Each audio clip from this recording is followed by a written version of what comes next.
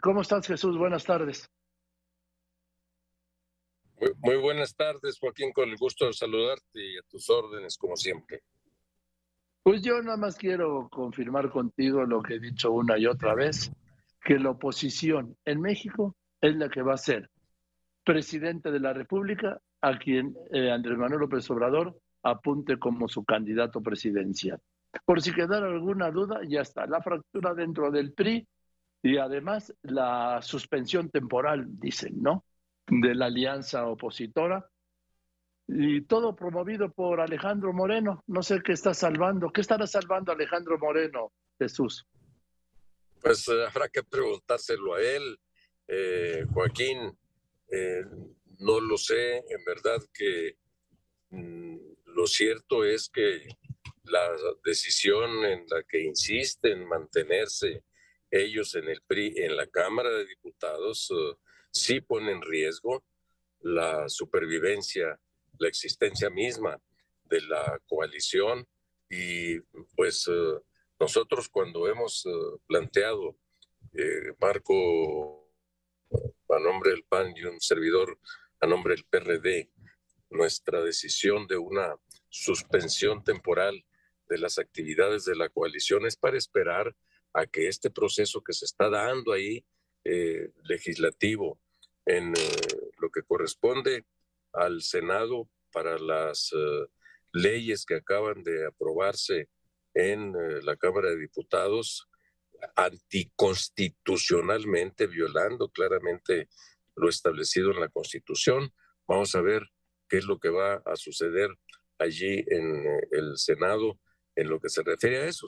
como son leyes, mañosamente lo metieron como reformas legales, pues solo se requiere mayoría que la tiene sola Morena y sus aliados. Pero en lo que ha motivado toda esta situación de inconformidad y que ha metido a la coalición en una situación delicada, pues es el quinto transitorio de la Constitución.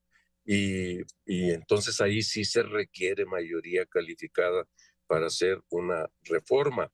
Vamos a esperar a ver todavía el martes próximo si eh, toda la bancada del PRI, como se ha dicho, va a, aprobar esta eh, reforma, darle los votos a Morena para que esto eh, termine dándose y que entonces aprueben la reforma constitucional al quinto transitorio y en el Senado, pues ya lo ha anunciado Osorio Chong, ojalá y el eh, grupo de contención en el Senado, que es toda la oposición, ahí sí no solo va por México, sino eh, junto con eh, MC y el grupo plural, pues ahí no va a pasar la reforma constitucional.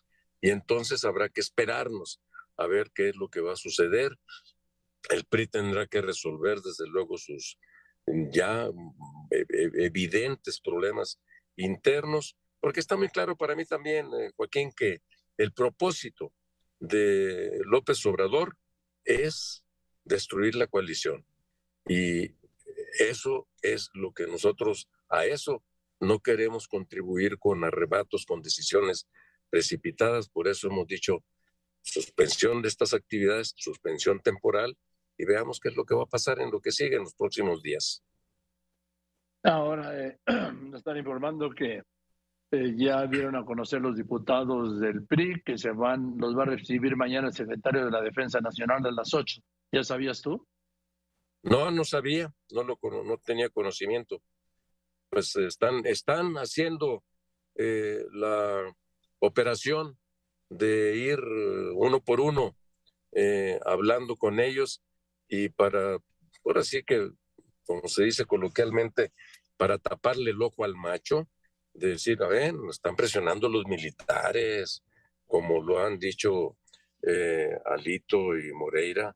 Entonces, pues eh, ahí están los militares ahora queriendo hablar directamente con los eh, diputados del PRI, cuando, en primer lugar, falta más de año y medio para que se cumpla el plazo establecido en el quinto constitucional transitorio y luego sin discutir y sin, eh, sin discutir internamente acá en la coalición y sin hacer ninguna valoración del porqué de la situación de inseguridad, de esta estrategia fallida, y le das eh, todo de nueva cuenta el poder a los militares para que sigan allí.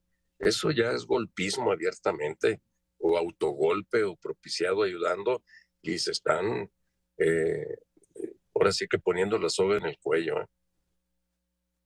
En fin, eh, vamos a ver cómo votan los la bancada prista. Según esto, la bancada en San Lázaro pues, va a votar a favor ya de la, de la iniciativa de Moreno. Ya, ya se abrió, ¿no? Pues sí, ya, eh, pues en, en, en, en, ah, en el Senado dice la iniciativa de Morena. No, no, no, no, no. En la Cámara de Diputados van a, ah, votar la bancada del PRI con, con, lo que acaba de decir Moreno. Ah, claro, sí. bueno, todo parece indicar, pero yo sé que hay grandes inconformidades en el seno del PRI, en la bancada del PRI, y vamos a, a esperar si todos terminan eh, asumiendo esa posición que, insisto y subrayo, es en verdad absolutamente errónea, hasta suicida en términos políticos por todo el poder que le están dando a los militares por esa vía, Joaquín. Y luego hay que dejar muy claro una cosa. El PRI no es solamente Alito y los que están en eh, la Cámara de Diputados, son también eh, los senadores y la dirigencia del PRI. En fin, pues gracias Jesús, gracias por contestarme, te mando un saludo.